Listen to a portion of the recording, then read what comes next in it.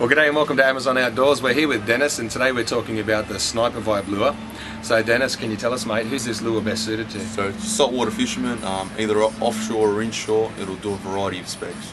All right, and uh, with this one, like, uh, could you tell us a bit about locations that you know, would be best suited to using this one? So it's a 30 gram lure. Um, if you want to fish it offshore, if you want to fish it inshore, that's fine. Um, you can fish it up north, um, you know, Queensland, heaps of country to fish it in. Um, if you're fishing down south, so New South Wales and further down south, um, yeah, river systems, estuaries, it'll do the job.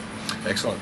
And uh, what, what type of fish do you reckon you, you, this one will catch? All right, so you can go anything from your speeds of the ocean. You know, your Spanish mackerel have been caught in these. Um, you know, you can even go to your barra, um, your jews, kings, pretty much everything. It's a very, very versatile lure.